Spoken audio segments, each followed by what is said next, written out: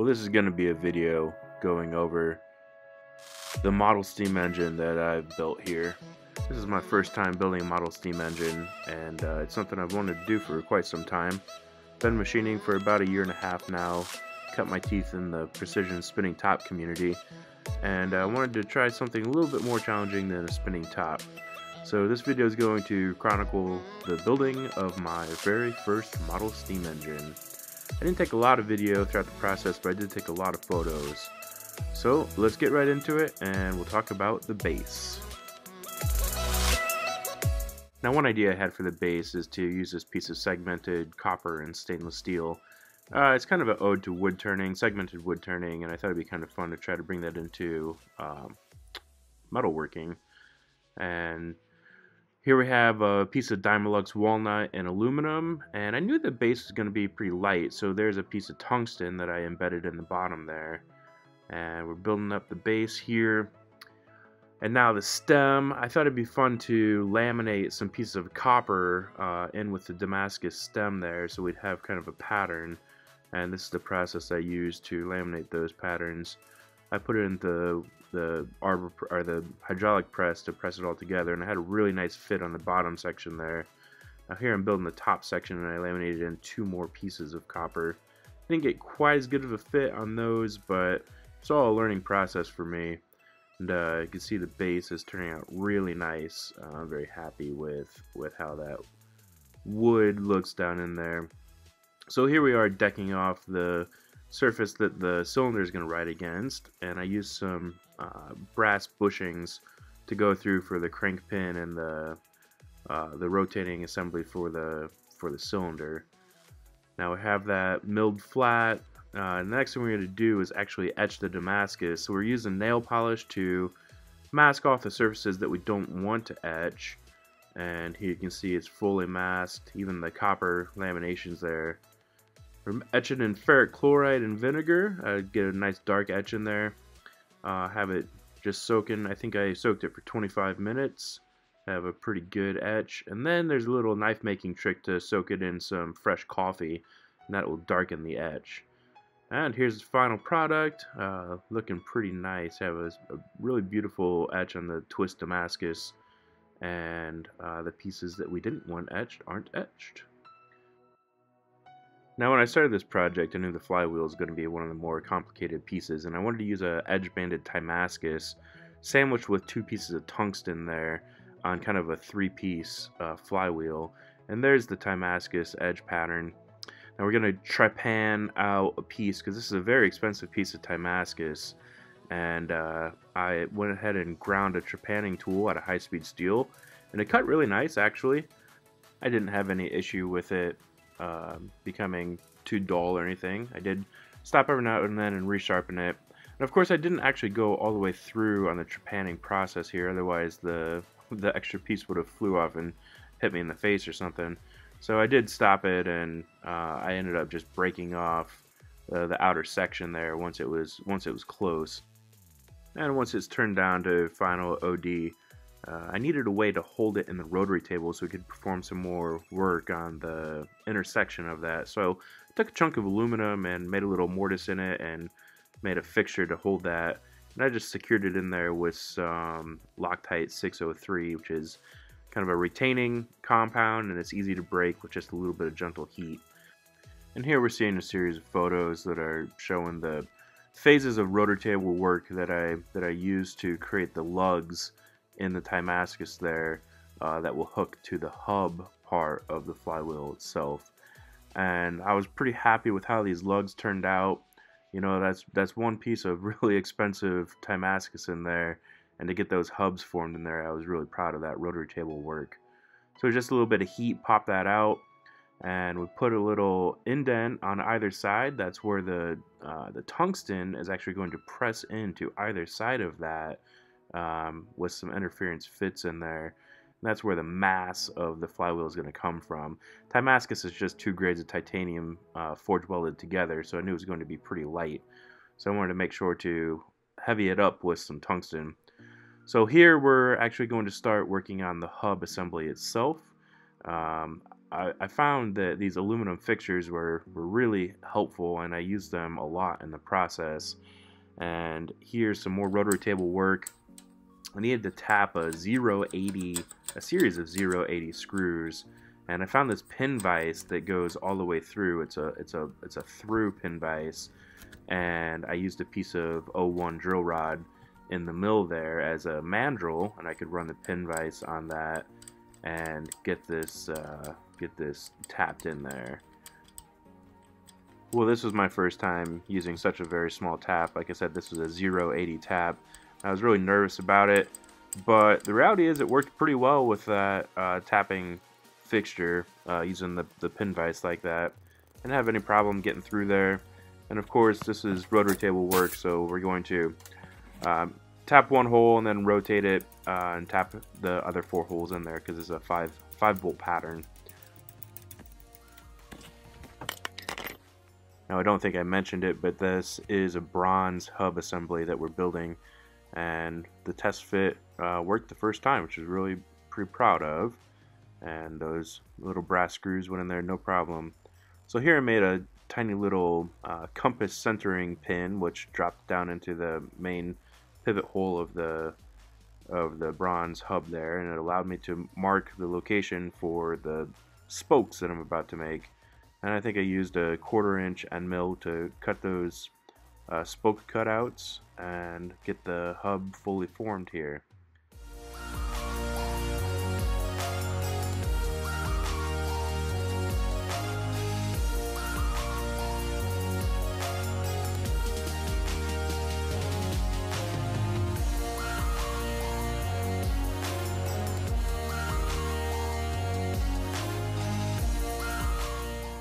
Now at this point, this was all pretty rough stuff here. Still needed lots of filing and polishing uh, to smooth it all out. I picked up a new set of Swiss files, which, wow, they worked so well.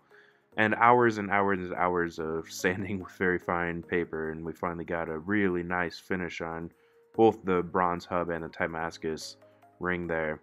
I think I have some videos showing uh, the smooth finish I got on the Timascus. It's really important to have a very smooth finish on the Timascus because when we go to flame polish it, any scratches in there are gonna are going to be seen in the in the color that uh, the titanium um, changes to as we flame it. So it's really important to get a very smooth finish there. And the bronze also had a really nice surface finish. Of course, it's the result of hours upon hours of sitting there with 3000 grit sandpaper just going at it. But it looked really nice in the end, and I was really pleased with how it turned out. And now we have a very heavy chunk of tungsten that we're going to do something with. Uh, the the Timascus ring there is 6.28 ounces and 15.81 on the one side of the tungsten. So the tungsten was definitely going to add a lot of mass to the flywheel, and that was always the intention. We have some more aluminum fixtures here and pulling everything in place with some hot snot glue so we could turn the backside of the bronze hub down to final dimension. I wanted to do that while the whole flywheel was assembled. That way I could bore the center bore of the flywheel concentric with the outside of the flywheel itself. That way it wouldn't shake around as it's rotating. Since it was an assembly of, you know, uh, four, five different pieces, uh, it made sense to bore that center axle um, as a full unit to make sure it was all in line. Well, the flywheel was a lot of work, but I'm really pleased with how it turned out. It's a nice centerpiece for the engine and really highlights some of the skill that I, I particularly wanted to show off with this build. Okay, on to the retaining nut. This one kind of makes me laugh a little bit.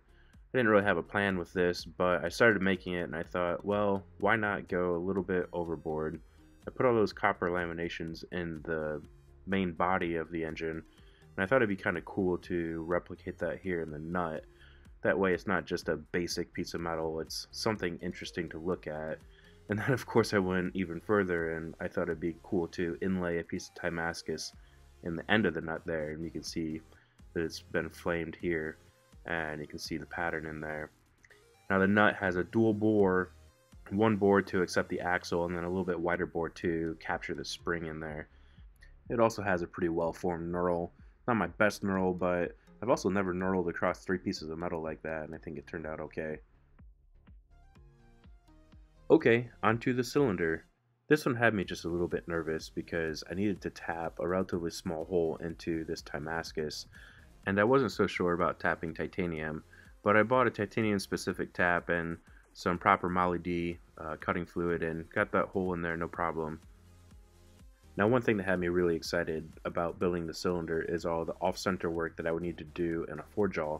I hadn't done this before and I also didn't have this tool. This is a knockoff of a Starrett number 65 lathe center tester finder and it's a long pole with two hardened pointers on either side. Uh, the chuck side there goes into um, a, a, center punch divot and then the post sticks out oh, a good 10 inches and so any off-centerness is amplified. You can see we have a little bit of wobble here but over the course of the 12 inch tool itself we're talking in the tenths of accuracy so I was really happy with that and I thought it was really cool to use this new tool. The cylinder bore was actually bored out, but there's a lot of wear in the ways of this lathe and so I bought a reamer set and was able to ream that cylinder bore uh, exactly circular. And then I used a little bit of metal polish. Uh, some diamond lapping paste would have been better, but the metal polish seemed to work okay in order to lap the piston to the cylinder. And we get a nice little pop.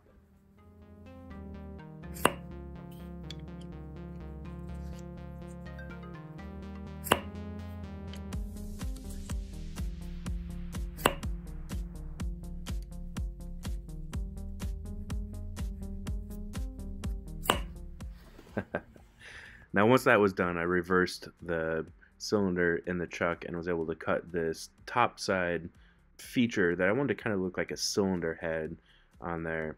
Now in order to finish off that cylinder head portion, I made this little aluminum jig which centered the cylinder head portion on the center line of the fixture, which is actually offset from the center line of the cylinder itself.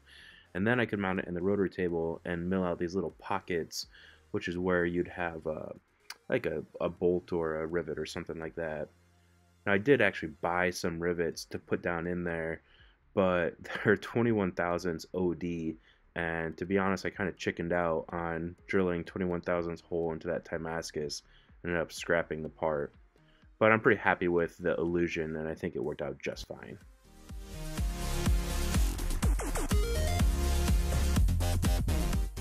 So next up we have the piston and connecting rod.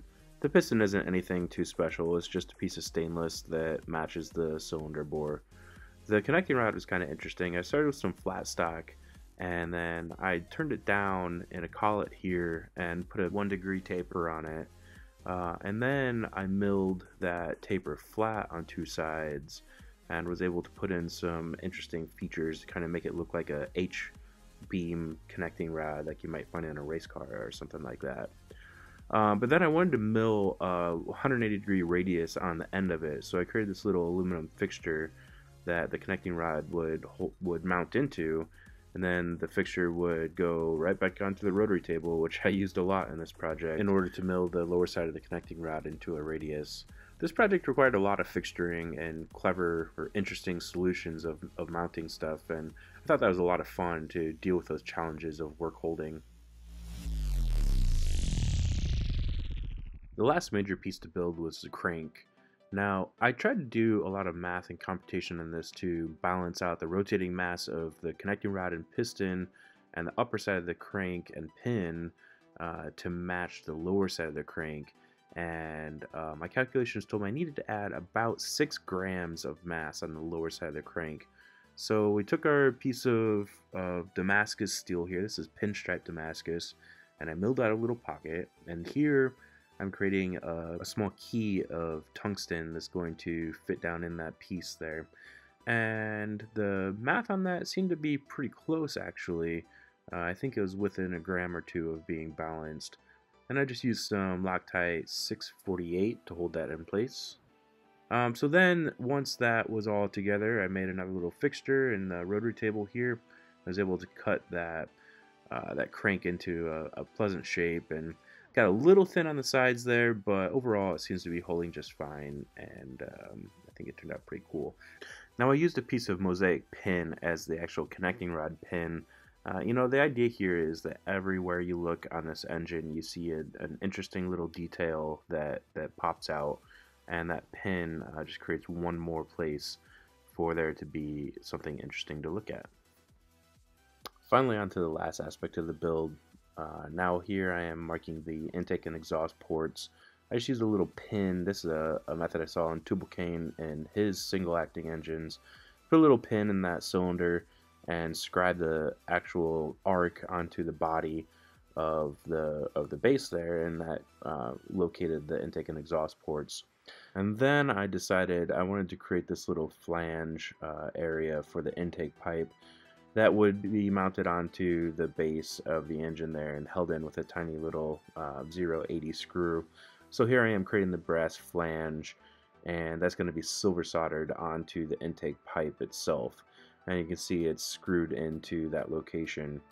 And I think that's a pretty cool little detail. Um, it was fun to make and uh, it was challenging to do the silver soldering because that's not something I had done before and I did find that the pipe the intake pipe was kind of long and needed a little bit more support so here I am doing my very first silver soldering on a bracket that's going to go at the bottom of the base and I was so pleased at how this turned out like I said, this is my very first time successfully silver soldering. I'd tried in the past and I've never had a lot of success with it. So uh, getting the right flux was the key for me. I had okay silver solder, but the flux was the issue. And here you can see at the bottom of the model here is where that bracket's going to go. And I milled out a flat there so that I would have a locating uh, boss for a little 080 screw to, to uh, mount in there. Now jumping ahead a little here to show the actual final intake pipe, but the idea is to show you that the two brackets are there. Now I never expected the intake and exhaust piping to be one of the more difficult parts of this project, but in fact they were. I found to get prototypically correct bends in the copper piping, I would just kink it and I tried like five different methods with sand or water or ice or even uh, low temp metal uh, to fill that copper tubing and get the bend in there. I just couldn't get it without getting kinks. So I ended up creating my own tubing bender here with really small radius dies in there. And with that, I was able to get, finally, after many attempts, was able to get a really nice consistent pipe with no kinks at all in the tubing. And here we go. All the parts are there. Um, the last thing I had is a little stainless muffler that I put on there and gave it a little flame job on the on the tip, just for the fun of it. And that completes the engine. Uh, it was a lot of work, but it was really rewarding, and it was a project I've wanted to do for a long time. Here you can see it running on 3 psi compressed air.